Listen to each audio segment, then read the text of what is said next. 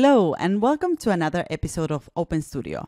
I'm your host, Martina Flor, and in this show, I have honest conversations with artists, designers, and creatives to uncover their story and the specific tactics they use to build a successful career around their skills and the work they love doing. My guest today is Petra Eriksson. Petra is an artist and illustrator born in Stockholm. Petra took a journey via Dublin, Malta, Berlin, and Barcelona, and her work is littered with these eclectic references she picked up along the way. Petra studied graphic design at the renowned Bergs School of Communication before venturing into the world of freelance illustration. Her bold and colorful work, often dotted with confetti and other abstract compositions, have become her signature style. She is especially renowned for her portraits of women.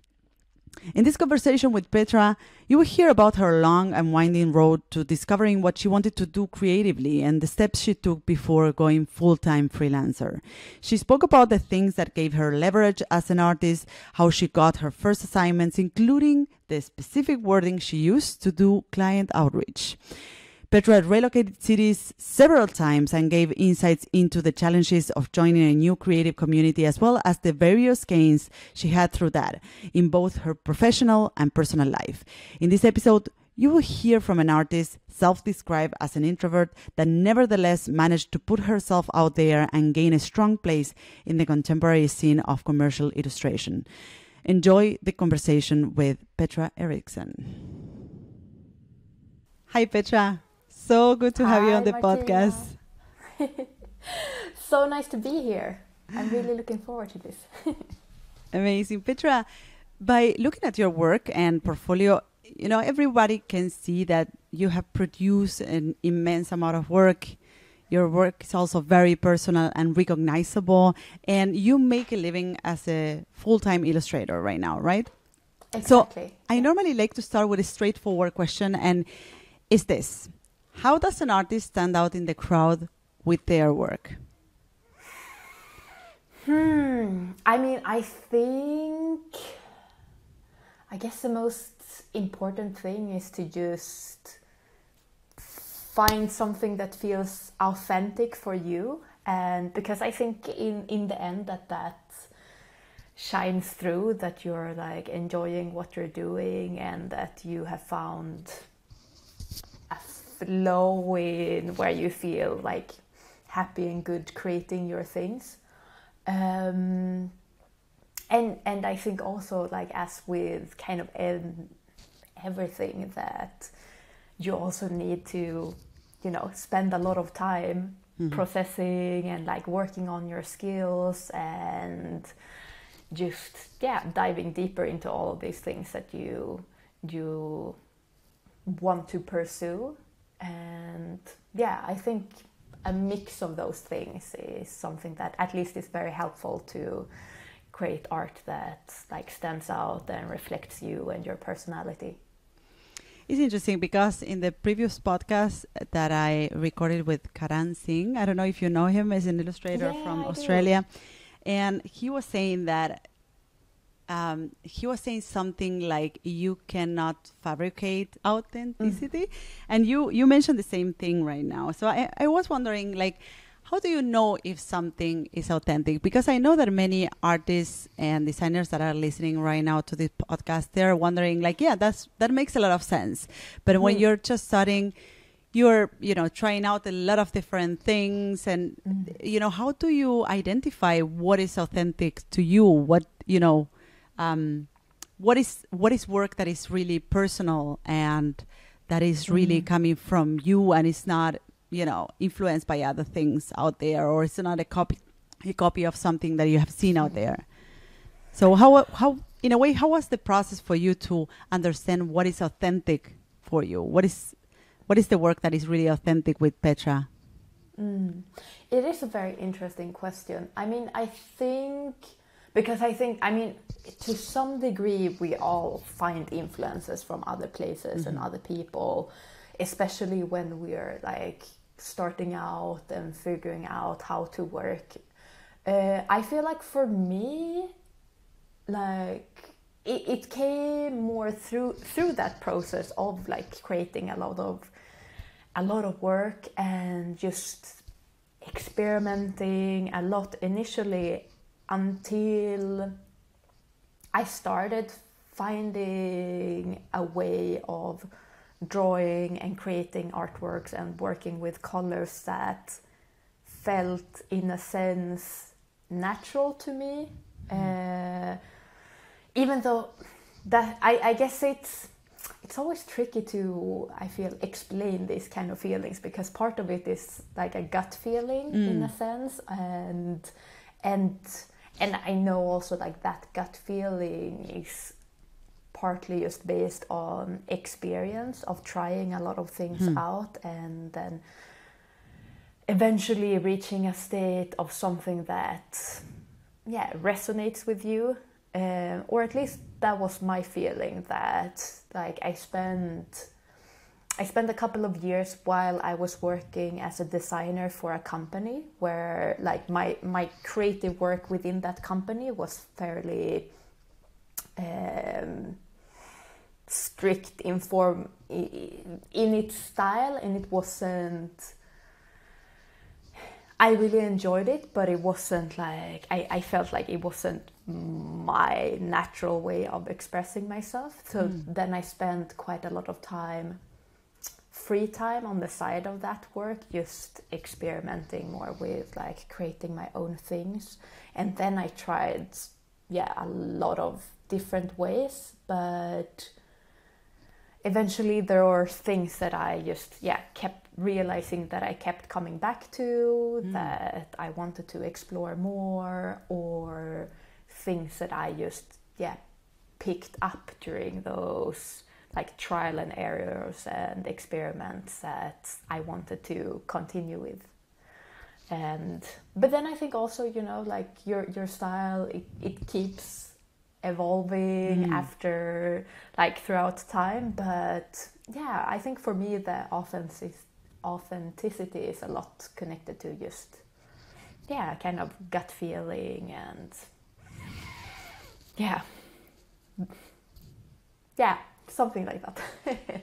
It's interesting because you mentioned that in a way you were finding patterns. You were producing a lot of work experimenting a lot but you were in a way identifying patterns that you were coming back to. And for this is really it seems really necessary to to produce that amount of work so that you can identify mm. those patterns. Because if you just produce a couple of different pieces and experiment here and there a little bit it's very hard to to understand where are the common topics and the common shapes and the common colors that you mm. keep coming back to, right? So, yeah, exactly. No, I think that is one of the key things. Just like spending a lot of hours mm. creating mm. stuff and being like immersing yourself in these creative worlds and yeah, feel, seeing what comes out of that and what you yourself feel most connected to the the famous 10,000 hours of work that you need to invest into something yeah, exactly. to to actually master it. So before we get in deeper into you know your different experiences, you mentioned that you work at a company as a designer first, and I really want to dig deeper into that. But before we get into that, I would like to back up a little bit and yeah. and go to the roots of your story. So how was your life growing up, and what does your family look like? So I grew up in uh, Stockholm in Sweden mm-hmm. with my mom. Um, so we were like our family in a sense was really small. It was basically her, me, and our rabbit. um, but and, and, my dad didn't really come into like the picture for me until I was around ten, and mm-hmm. that has been like a process in itself of building a relationship with him later in life but um, my mom is a very social person so i felt like we had there was a big like kind of extended family because we have like my aunt and cousins and other family members but they're we have been pretty spread out in different parts of sweden so in my day-to-day life my like the close family to us were more like that kind of extended family Mm. of her friends and their kids and like my godmother and yeah other people that belonged into that stockholm life. And my mom she just she actually used to work as a graphic designer as well but then she switched her careers to work as a social worker when i was a kid.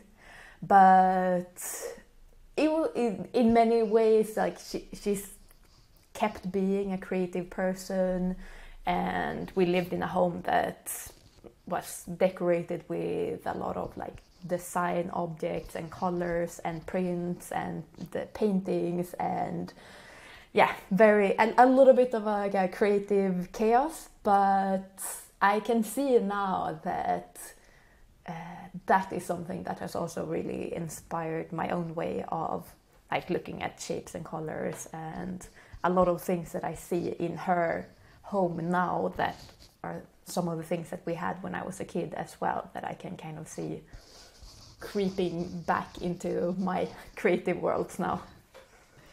And that's pretty interesting that you had a, a graphic designer mom because that that wasn't like a career choice until our generation, I would say, right? Or early, like newer generations, right? So I think that's really particular of your own past. So I I can imagine that when you when you said to your mom that you were going to study graphic design because I know that you went to art school, right? Mhm, yeah. so th- that wasn't a surprise for her what was her reaction to to you choosing that going down this path I mean, my mom has always been. She's also a person that is very like straightforward and realistic, and I, I've kind of always been very creative, and as a kid, I was very shy and spent a lot of time just like you know like reading drawing being in my own little like peaceful bubble somewhere. Um so I I think from like or I know from a pretty early age that I was like oh like something visually creative like I'm like drawn to this world um, and this might be something that I want to you know explore as a career later. And she was always pretty, like very straightforward and she was like yeah like I really want you to test out whatever you want to try out and but you know like this if you want to be an artist or designer it can also be you know tricky to get into this but if you you know if you dedicate yourself and if this is what you want to do you should test it out and uh, you know work on some other things on the side to save some money but yeah very practical as well.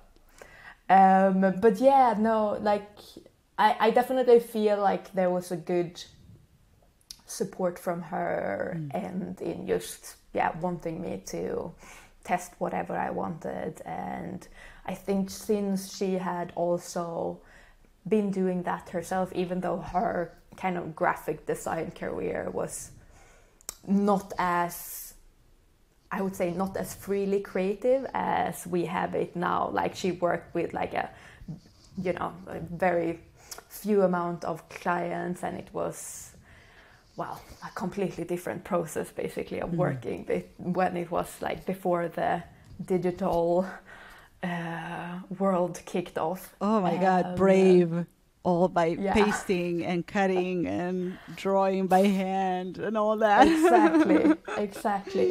Yeah so much work that i'm Yeah. like Oof, yeah. What yeah.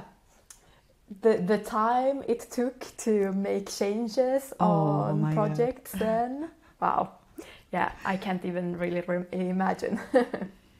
So that's uh, that's great that you had, and I always ask this question because, you know, with many artists that I have interviewed in the podcast, and many artists that I work with, I realize that there's normally a little bit of a resistance within their family or their circle of friends when they wake up, they come up with the idea of like, hey, I'm gonna study graphic design or I'm gonna go down the path of art. So there's a little bit of resistance, uncertainty around the people that surrounds them. And I always ask this because having like the blessing of your parents it is kind of important, and m- perhaps also you will need some financial um, support from them. So.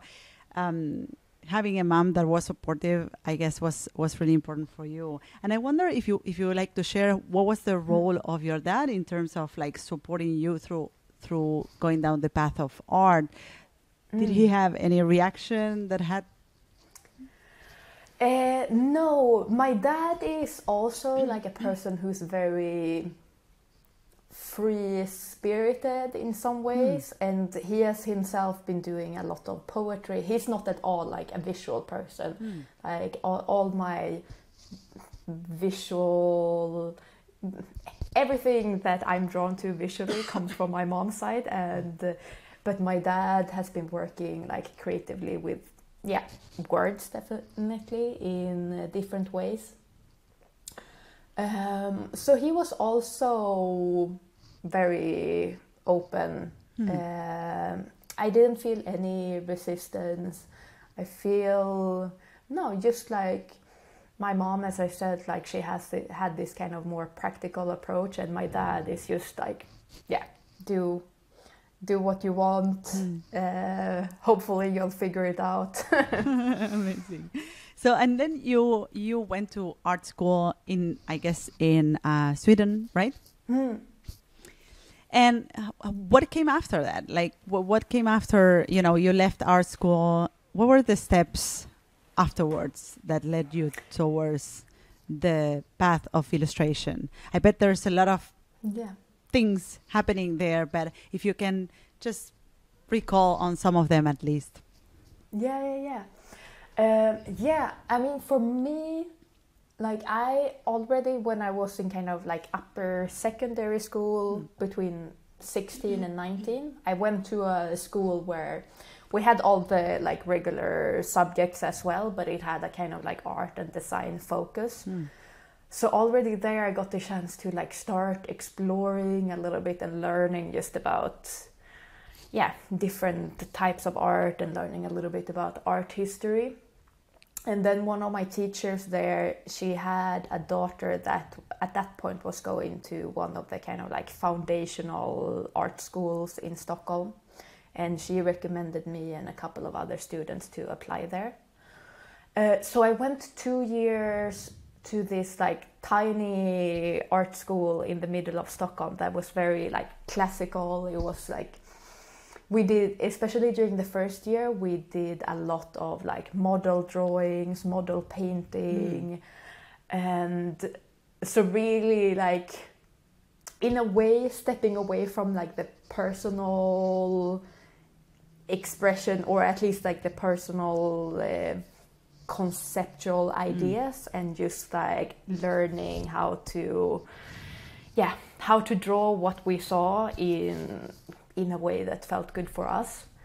And then the second year there was really, then we were basically allowed to do whatever we wanted, which was really good, but also really hard. Mm-hmm. Uh, I think for me, in a sense, like, even though like the model drawing, model painting part wasn't always the most exciting, mm. it was helpful to have that structure in a sense. Mm.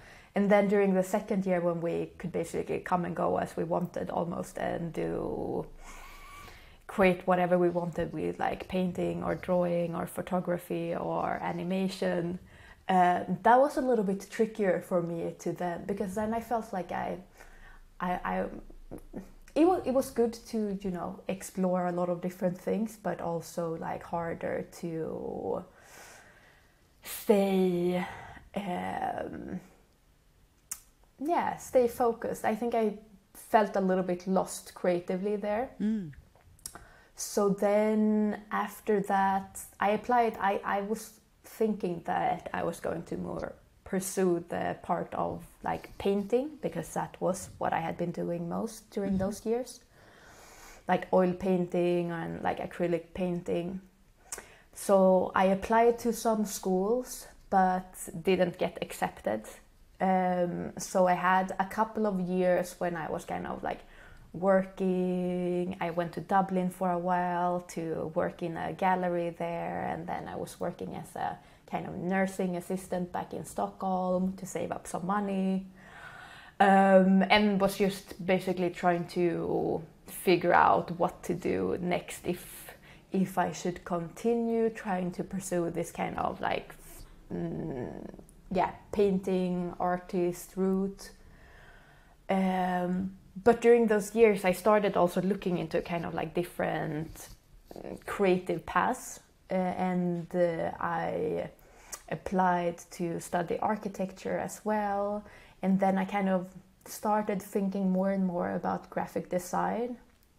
And I felt like like I kind of liked this idea of working on creative projects for a client and for other people not only to do that but to have have a little bit more of that like structure and then mm. be able to do like my personal work on the side so yeah so then i applied to this graphic design school in stockholm and studied there for two years mm. um, but during those two years i ended up doing a lot of illustration which wasn't like we only had like one illustration course that was pretty short but so you already discovered like a like an interest for illustration during your uh, graphic design studies. Yeah, exactly. Like I, I ended up using or doing like a lot of illustrations mm. to different kinds of projects during the school years.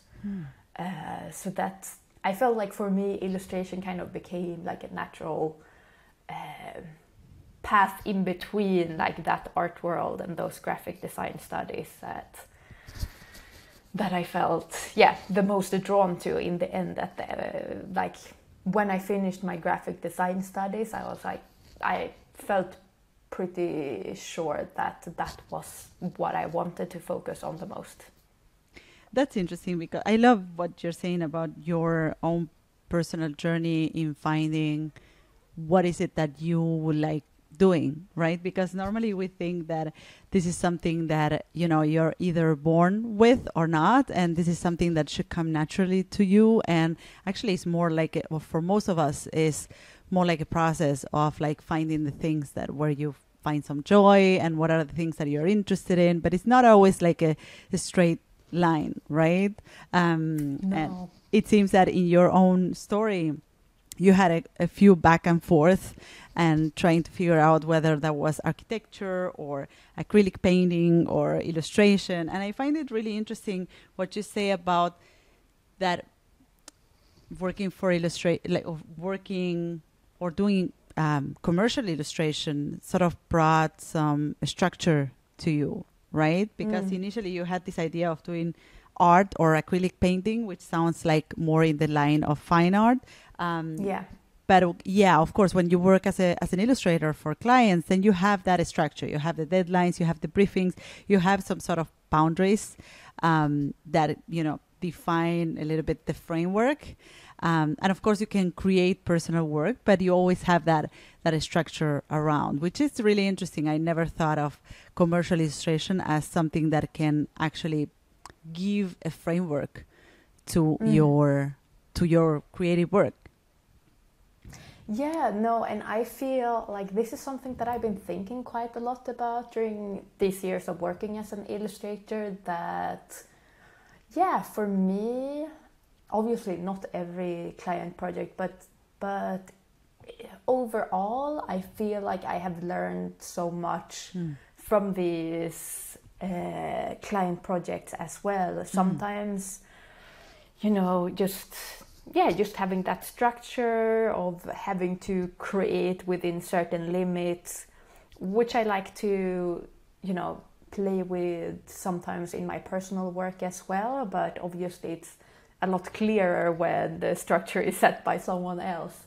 And also, just sometimes, yeah, sometimes being pushed a little bit more than I would push myself into testing something new. And sometimes it doesn't work, obviously, and then it can be a little bit frustrating. But then it's also really nice when a client, yeah, pushes you a little bit and it ends up being something that feels really good and that I then later continue exploring with in my personal work, maybe, mm. or yeah, so I feel like yeah, I get there's a lot of things that I do in my personal work that I take into my client work, but also the other way around. So you really finished nice. art school and mm. what came after? Were you just leaping into freelancing? Were you getting a job somewhere? What was your your journey? So there? I had a couple of months when I did like a little bit of freelancing uh, right after I finished this like design education, and then um, then I started to applying to jobs in uh, different agencies in. Um, uh, in Stockholm, but I didn't really find anything like it was a little bit tricky because of my kind of illustration heavy portfolio. Um, so it it took me a while to figure something that worked for me, and in the end, that was for like a company based in Malta, a Swedish company that was based there working with gaming, and that was, you know, not the world where I had envisioned myself going to initially. But in the end, things worked out really well for me in that uh, I think I came into this company like this startup when it was just 30 people there. Mm-hmm. So I got the chance to, you know, test a lot of things and get a lot of creative responsibility early on in a different way than I think it would have been if I would have come to like a traditional agency.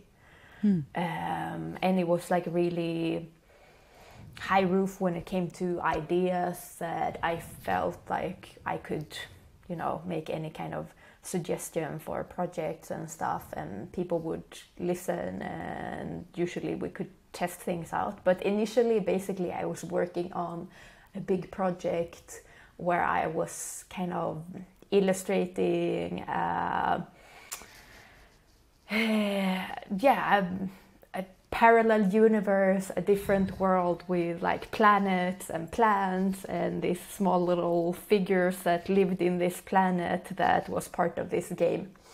And uh, that's pretty yeah, amazing it was really you know it was a big learning curve for me and very different from everything i had done before yeah, and and after this, you you went you you went freelance, or it took you a couple more jobs to actually do that. This was uh, my only kind of creative fixed job, but I was there for about uh, almost yeah almost three years. Mm-hmm. Though the last year I worked less hours uh, so that I could focus a little bit more time on my personal projects. And then I had started doing a little bit of freelance work on the side that last year. Mm. And and then I was actually in Berlin for a while because then I had escaped the yeah Malta became very small after a while so then I escaped to Berlin for a while and then continued on to Barcelona after that I see you have relocated a couple of times so I'm gonna dip yeah. deeper into that as well um, later on so I'm gonna make a note right now, and I'm gonna keep that for later. Um, but the I just want to continue like the chronology of, you know, your path into um, freelancing. You were, you know, leaving art school. Um, getting a job at a gaming company in Malta. You worked there for three years, and you slowly started making um, you know, building up your portfolio and your client base on the side. What was what led you to become a freelancer? What was the the pursuit there? Why why did you say one day, "Hey, I I just want to start building up my freelance business"? Mm. What were the motivations behind it? Was it personal? It was, like was, it time? Was it autonomy? Was it mm. doing more of the work you like doing? What, what was it? it? It was a mix of things. It was definitely I, I definitely liked this idea of the autonomy of being more in charge of my own time and and be able to choose a little bit better on like what I focused on and what I say yeah dedicated myself on doing. Um, but then it was also the just the, the creative expression part that like as i mentioned before that like in this agency like i had a great time you know creating things there but it didn't really feel like my way of expressing myself Mm. so also that to be able to just be more more free and to and to do a bigger variety of projects as well Mm. like i'm um I have learned that I'm, uh, I, I, you know, I think I have patience in certain things in life, but I have learned that I'm not great if I need to work on the same thing for a long time. Mhm. If it's like a project that stretches over several months, I find it hard to keep my. Uh, interest and creative energy Mm. up enough that then I need to yeah find other ways to kind of trick myself into in yeah into keeping that kind of energy in the project. Uh, so for me, it was also a way to make it easier to yeah to have a mix of projects to be able to jump a little bit more quicker between different things. Yeah, and also game projects are long, right? They Yes, last a very lot of years with a lot long. of um, round of changes and stuff. So I want to d- dive deeper into your experience at living in different places. And um, so you lived in Malta. You're from Stockholm. Yeah. Um, Stockholm. Uh, you moved to Malta for because of this job. Later on, you went to Berlin. Um, you came to Barcelona. I'm bar- in Barcelona right now, so that's why I'm saying Ah. you came. and then, um, and th- you're now thinking of relocating, as you told me before we started the podcast. You're Mm. thinking now of relocating uh, back to Stockholm. So, what was also the motivation for you to to you know pursue all these different or to, to relocate to all these different cities? Was that just for fun, or were you looking for something else? Uh, it, like each move was a little bit different. Like when I moved to Berlin, I just needed something that was very different from Malta, and I needed to be in a place where I could find a lot of other creative people and go to museums and see concerts and yeah, have a little bit more of like a mix of people around me. Um, and I really felt like Berlin was a great place to for me to be uh, in that sense. In which year Even did you move uh, to Berlin? Which which years? 2016. Wait, Okay. no, 15 maybe. 15. Okay. Yeah. Yeah. Yeah.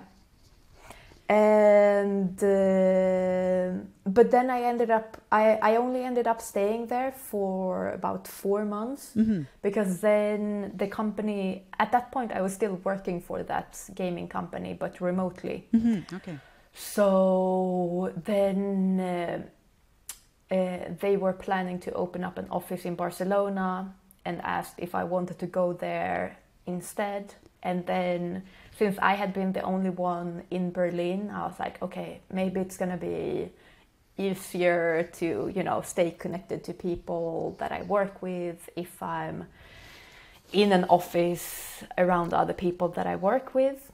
And I was interested in Barcelona, so I was like, okay, I, yeah, I've visited Barcelona before. I really like the city. I might as well like try it out now when I have the chance. hmm And yeah, and then I ended up staying in Barcelona. Uh, I definitely think like I could have seen myself stay longer in Berlin, but now it was just yeah this uh, chance of uh, relocating again. And in Barcelona, I just yeah very early on started feeling like this is a place where I can you know stay for a while and and uh, yeah build build a life here and as I think you know, like it's a very creative city. It's a good place to be and be around other creative people, and yeah, yeah, it's good. Yeah, actually, I'm I'm based in Berlin, so I I've lived in Berlin for 12 years now. Uh, but I just spent the last couple of months in Barcelona with my kids, and just to have the experience and and I know Barcelona very well. We travel here often, and it is a very, a very in a way, small city. You know, you feel that you Mm. can reach every little corner of the city by bike, and at the same time, there's a lot of um, cultural activities and events and uh, a lot of artists living here as well. So I, I can imagine why this was a, a nice spot for you to move in. And I wonder what were the things that you feel that relocating cities taught you because you know I've, I've interviewed several artists here that have moved or relocated cities for different reasons and many of them um, relocated cities because they wanted to leave their comfort zone or they they just wanted to go where the like the work is quote Mm. unquote um, or to just you know join a creative community so what were the things that you gained through um, through living so many cities and joining so many different communities of art Mm. and design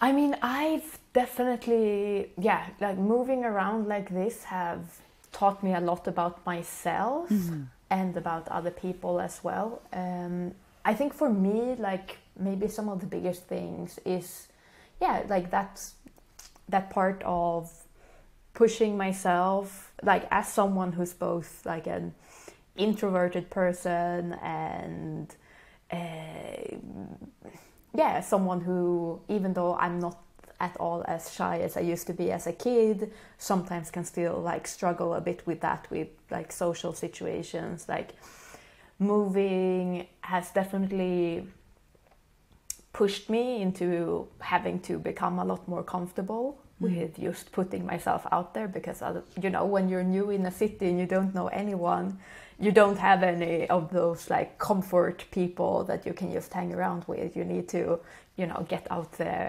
and be social and mm. talk to people mm. and contact people and companies to to create that kind of community. So like on a personal like in my personal life that has been super helpful. And then also i think like creatively i feel i definitely feel like each place that i've been to has given my creativity something new as well in a sense. Uh, i don't know if it's just i usually feel very creative especially in those kind of like exploration part of being in a new place when you have to be super open and just like try to absorb everything and there are so many new experiences everywhere from like cultural things to all the mm-hmm. new people and to just yeah being in a place where you can where you get the chance to connect with other creative people. Mm. And i think also like the the cultural the culture of each place sips in a little bit as well. I mm. feel like there are things that i've just yeah have picked up in different ways from the different places that i have been yeah spending a longer time and so for me it's been overall super helpful and what was it? ah yeah i think also like when it comes to personal things i feel like whenever you move to a new place you realize so much when it comes to yourself about what you really want in life or what kind of people you want to surround yourself with which are like the important things that you need to feel like happy or have stability in your life. Uh, i don't know what your experience was when you moved to berlin but for me i felt like i've for every move i've kind of yeah by just noticing what are the things that I've missed in another place Yeah. and what are the things that I I need to find early in a new place to make myself feel a little bit more comfortable. Yeah, yeah I, that is really helpful. I can totally relate. As someone who relocated cities a couple of times as well, I lived in Mm. Barcelona. I lived in The Hague also for a year. I then moved to Berlin, where I've been living for the past 12 years. Um, but I can totally relate to this idea of like, you know, the, the different places and the different cultures that you, you, um, you throw yourself in, show you different aspects of yourself. And it's very Mm. interesting because in one of the episodes that I recorded with uh, Malika Favre, who also lives in Barcelona, I'm actually going to meet her tomorrow. oh, Um, fantastic! And Say yeah, hi. yes, I will. And um, yeah, and she was mentioning that you know she recently relocated to Barcelona while she was living in London for almost a decade, and she Mm. comes from France, Paris. I don't remember exactly which city, but um, she mentioned something that really resonated with me. That you know, while while London was really formative for her and her career, that was the Mm. place where she learned, you know, um, her skills and, and and her craft. She also um, she mentioned something like um, London for me in in the sense of like you know it gives you some structure you acquire some of the the the cultural pl- approach to work for instance and um yeah and she she mentioned that in that episode she mentioned that she while london formed her now she feels in another um stage of her life where she Mm. is ready for an environment that looks more like Barcelona and the kind of like the the cultural um, structure that Barcelona gives you in terms of you know spending more time um, on the street and you know going to the beach and all this stuff right? So i think it it definitely um, it can definitely have an impact on how you approach work and how you yeah how you live your life and Mm. And at the same time make you help you discover a lot of different things or um, a different a lot of different aspects of your personality. Like you just mentioned um, the the thing of moving countries it's already pretty challenging. You have to perhaps learn a new language find find new friends uh, make new connections right? So there's so much to tackle that it's impossible not to put yourself out there. If you don't put yourself out there then you better stay where you were right so Yeah.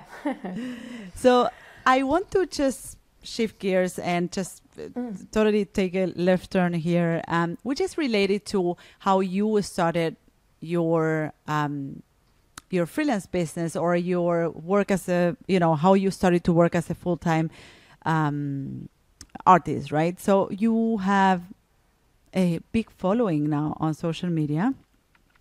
And I read Mm. somewhere on some article somewhere that you have received or th- this following on social media or that big following on social media help you in the very beginning to to get some client assignments. And I want to dig a little bit deeper into this because I just to give you a little bit of background Hmm. uh, information of why I'm asking this. I see so many artists focus on growing their following on social media or like obsess into um, Mm. you know creating art for instagram and i sometimes for me it's hard to understand whether that brings any results to their in terms of their success as commercial artists right and as i i, I read this article that you um that you wrote or an interview that someone um, did to you um, I was wondering, like, did you actually get assignments through social media? Um, how were your um, your techniques to find out that they were coming through social media? Uh, were you asking? What was you know? Did you have any sort of a statistics writing somewhere in the software or something? and also, um, what were other um, other things that you did to to do client reach out or to get the first clients? Mm. I mean, I feel like oof, social media.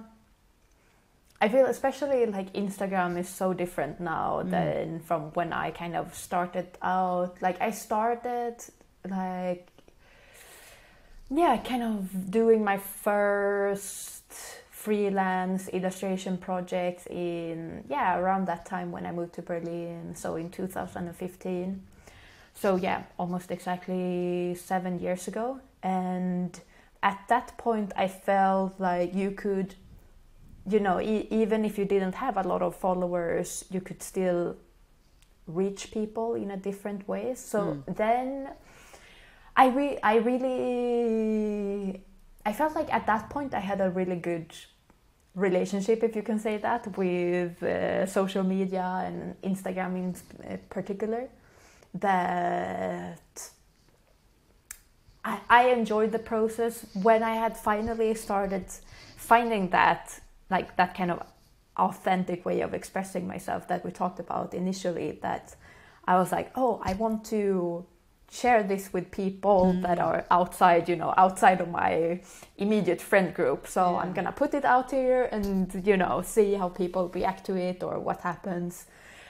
Uh, and during that same time, I sent a lot of like emails to magazines or to like smaller like design agencies, different kinds of places where I could see myself doing a project for. So like I did these kind of things simultaneously. Just a follow up But- question here yeah. before we get deeper into this. Uh, what was the email saying?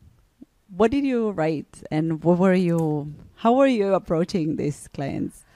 Yeah, I mean, I I think with the emails, that was probably mostly to yeah magazines where I had managed to like figure out like the name of an art director or something, or some designer in the magazine, and if it was a magazine that I like read or followed or that I liked, then it was usually like fairly easy to be like, hey, I you know I really like what you're doing. I'm an illustrator and it would be really fun to get the chance to work with you someday. Here is my portfolio or a link to my portfolio and yeah just trying to yeah connect to a lot of people that i felt had like a similar um, yeah creative mm, not exactly creative path than me, but where I could see that my work could possibly, you know, fit in. Um, but obviously, like uh, many of these mails went unanswered, but I managed to get like some contacts through that, like some small projects that then led to other projects.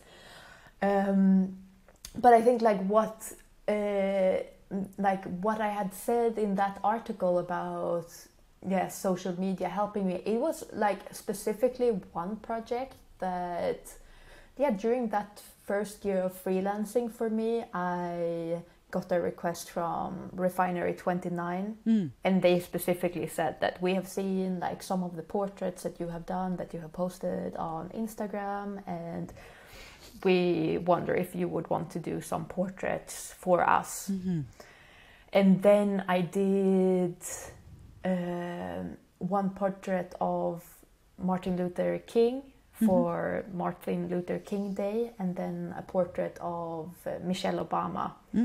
Um, I think that was for like Black History Month or something like that. Uh, and, uh, and at that point, I had also still like very few followers, and uh, but those pictures, like when uh, Refinery 29 posted them, they at that point had, I don't remember, but they had a lot of followers. So that in itself ended up giving me a lot of more um projects based on those two artworks that I did for them. So in that sense, I felt like it was super helpful for me now I have a lot more. My my relationship to social media is very different right now. Mm-hmm. Like now I feel like it is. I, I definitely can recognize what you said on like that that focus on like on seeing that focus on followers in other people and also sometimes getting dragged into it myself depending on how I feel um, yeah where I am in a phase creatively I think mm. usually if I'm, I'm in a good creative phase when I feel very inspired and I just do a lot of things because I enjoy it then it's a lot easier for me to not care about the numbers and the followers or whatever. But if I'm in a phase where I don't feel very creative and yeah, I feel like things are coming a lot harder than I wanted to come, then I, I, I notice that in myself as well that I can like start, you know, thinking about uh, why are people people unfollowing me and and care about that in mm. a different way than I will do when I'm just in a good phase with yeah with myself and my creative work basically. That's interesting. It seems that social media sort of exacerbates whatever trend you're experiencing as a person and as a creative. yeah, yeah. And do you do you continue doing client outreach nowadays?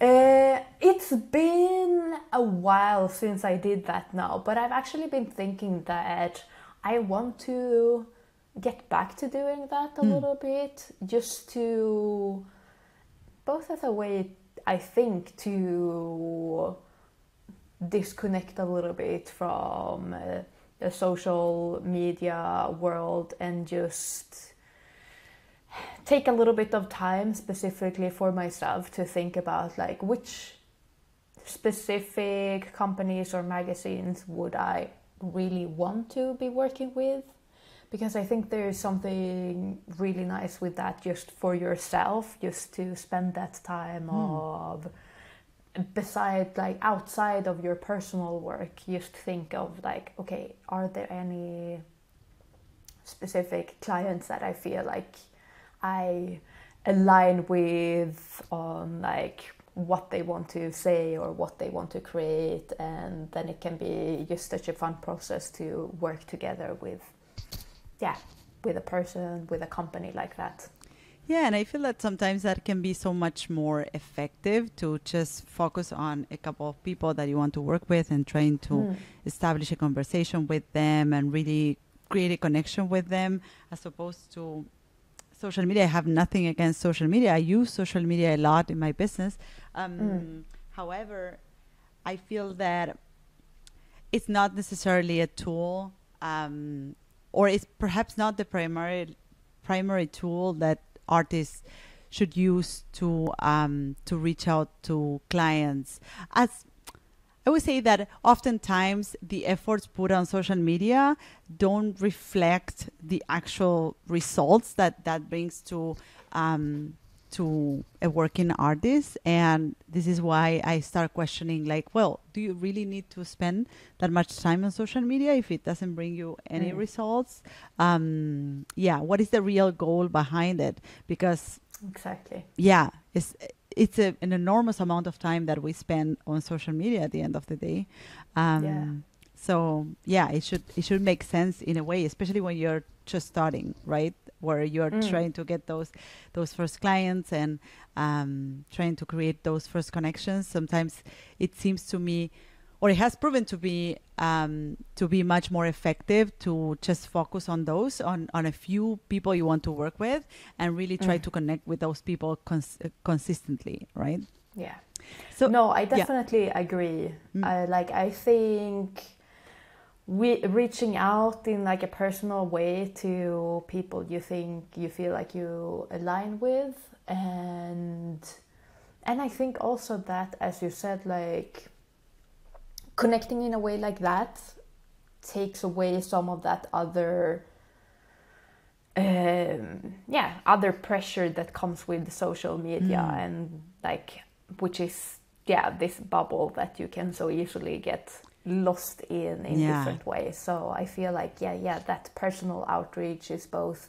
yeah for for you personally and for uh, potential new projects to come like a more straightforward way So you have been working as a full-time freelancer since 2015 or more, I guess. Mm. Right. Yes.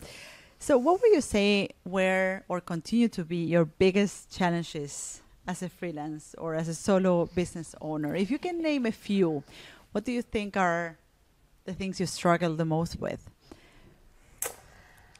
Um, I think, well, I know that definitely one thing that I struggle with is that kind of that part of setting aside enough time for my personal things. Mm. Um, um, to just, yeah, to create a better structure for that so that I don't put that aside as soon as like a interesting client project comes in or to figure out how to yeah find a better better balance between like my own personal work and the client projects which i have been like working on this last couple of years of just uh, in general giving myself a little bit more time and space to recover and just do my own things just for fun without them having to you know lead to any specific thing. And um, otherwise i mean i for me freelance life suits me very well. I'm someone that kind of enjoys working on my own. I do, I do. It is really nice when I get the chance to collaborate a little bit more closely to another creative person. Um, I really enjoy when that happens and it becomes like a fruitful and smooth collaboration. Um, but in my day to day life, I kind of really enjoy being in my own little like bubble, creating my things and. Um, um, yeah, just diving into my own little world. Then I think now, when I'm just in this process again of relocating, obviously, like being a freelancer is super. Uh, it's really nice in that way that I can easily take my work with me. But then, uh, but you know, all the like bureaucratical stuff and paperwork mm. of like figuring out how to yeah make things that everything is in order and setting yourself up in a new place. I know that that is going to take a lot of uh, time and energy. So right now i have that as a little bit of like the the small negative thing in a lot of positives. So is it is it something that extends to every uh, all the administrative work in your business as well? Is this something that you struggle with, like keeping up? Um... Uh, no, I would say in general, like the administrative part works fairly well, but I think it's also partly because I have like a really good accountant that. Mm.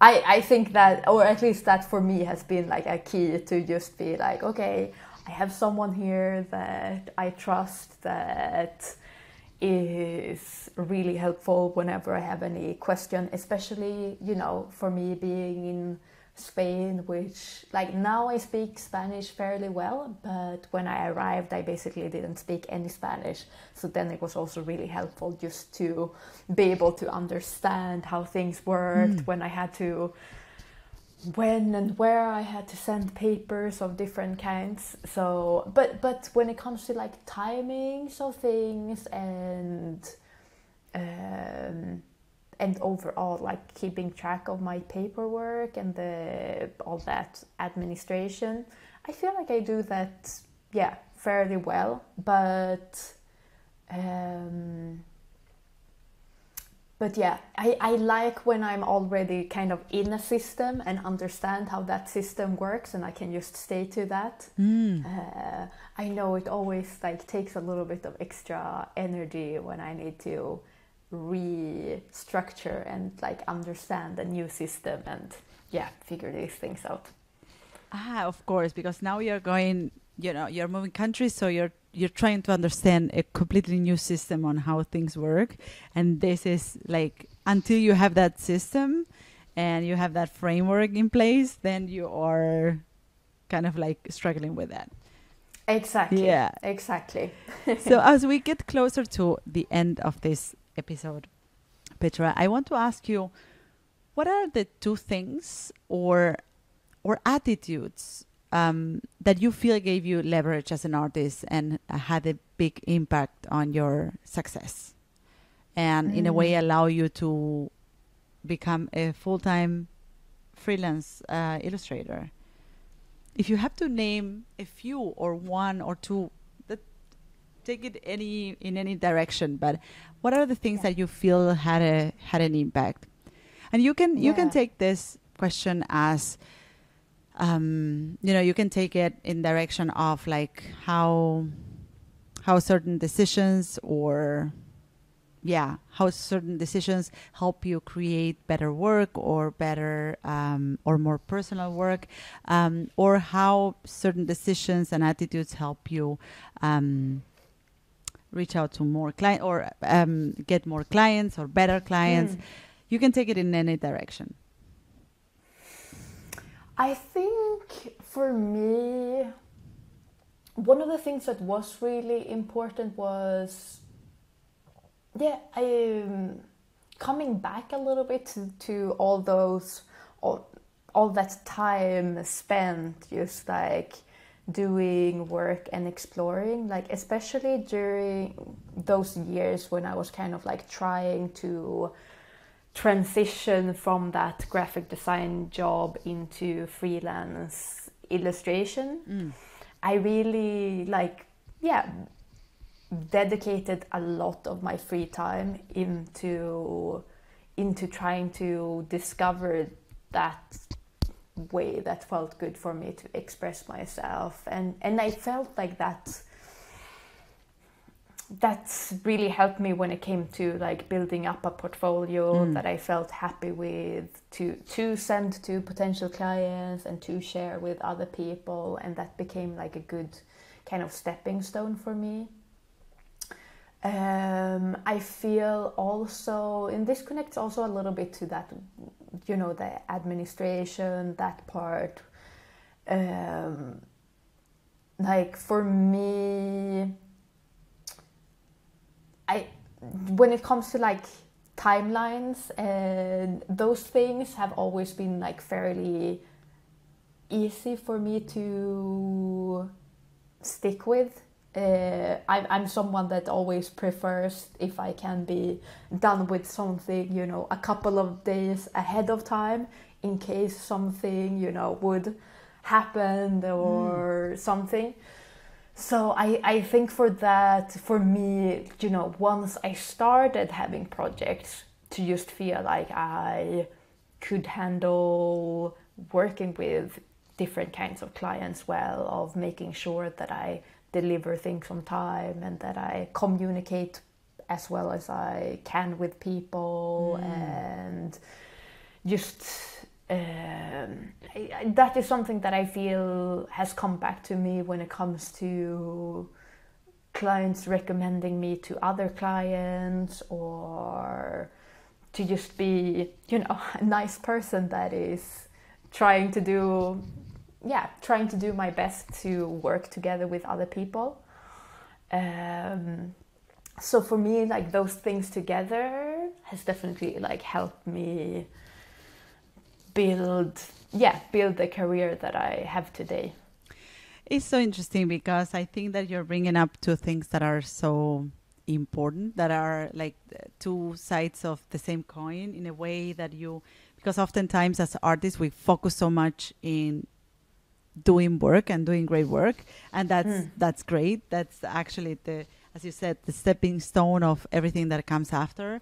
But we sometimes forget of all the rest, right? Of like we are working with people, you know, clients are people. We need to understand them. We need to be empathetic with the the changes they send and like the their feedback and in a way we need to be professional in the way we deliver our works right so it's Mm. not enough just to to do great work but it's also necessary to be you know to back it up with a good professional attitude and i think this is this is exactly what you were mentioning right now that it gave you leverage as an artist. And to wrap up the the podcast, I always like to play a game. Um, the game is called Finish the Sentence. so it is basically I start a sentence and you complete it. Okay, So- fantastic. Are you ready? Yeah. Okay, so I could never get bored of. Um, drawing. Simple. Style is. Uh, style is. Oof. Style is what you feel happy in or happy doing. I, I guess it depends on like if it comes to like style in the sense of what you wear, how you live, but I think whatever makes you feel happy and confident, that is, yeah, your style. I'm a little embarrassed by the fact that I know so little about. uh, history, when it comes to, uh, uh, yeah, history, in, in the grand scheme of things, like I, I, I can like you know go down on some specific events but then if someone asks me like if i need to place certain things in like a time order or when it happens or in which century was this then yeah th- those have led to some embarrassing moments If I wouldn't be doing this for a living, I would be. i think i would probably do something with animals Hmm. Uh, it could be probably be really a really nerdy animal scientist of some kind, like a, I don't know, a whale scientist out on a boat somewhere. I'm always chosen first when it comes to. Um, what am I chosen chosen first for? Um, it, I mean, oof, yeah. In my group of friends, it might be some kind of, well, either art related thing or strength related thing because I like doing a lot of strength workouts and but though if you get to like my kind of yeah yeah yeah probably those two Right now is the perfect time to. oh relax Thank you so much, Petra, for being on the podcast today. Where can people find you? people can find me well at either instagram at petra eriksson studio or yeah my website petraeriksson.com uh, and yeah people are very welcome to reach out if they have any specific questions from the podcast or yeah something else that they just want to ask about or discuss Amazing. I will add this to our show notes so that listeners can find you. Thank you again for all the insights Perfect. and wisdom Thank that you, so shared much, today. martina and thank you everybody for listening. See you on the next episode of Open Studio. Bye bye. bye bye So this is it. I hope you loved this episode. You can find me, the host of the show, on social networks at Martina Flor on Instagram, Twitter, and Facebook. If you have a question or comments, go to martinaflor.com slash podcast where you can see previous episodes, find show notes, and send voice memos with your comments and questions. You can also watch these episodes on YouTube. Just go to martinaflor.com slash YouTube to find them. You can, of course, listen to all our episodes on your favorite podcast platform. If you loved this episode, subscribe to this podcast. And if you leave us a review, it will help others find us. Thank you all for listening and see you in the next episode of Martina Flor's Open Studio. Bye bye.